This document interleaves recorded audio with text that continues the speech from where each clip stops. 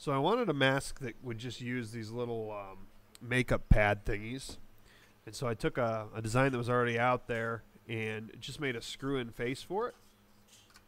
And the way this face works, you just put the uh, the pad inside there, and then the screw actually, you can see there it's got vents underneath the cap. That's where the air comes in, and then it lets the air come into the chamber.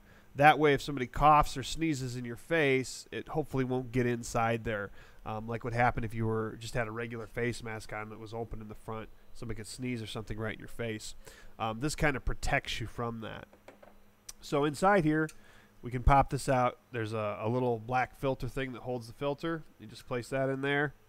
You drop your, your filter in. Uh, I would make sure you get a filter that doesn't have holes in it. I've seen some of these uh, makeup pads that do actually have holes through them, so just make sure you get one that doesn't have holes through it. So you just put it in there, just screw it down. Um, this one was a little tight. I tried to adjust the screw. Hopefully it's loose enough now. Uh, it was a little too tight for me, so I just heated this up with a torch a little bit, got the PLA kind of soft, and then it just, you know, I was able to screw it down. But then as you screw it down, that just presses it right up against there nice and tight so that you have a, a, a good seal. Now, you would probably, you know, if you want a really, really good seal, you could put like um, some sort of, you know, foam tape or something in there. But anyway, might not be the greatest, but probably better than nothing in a pinch.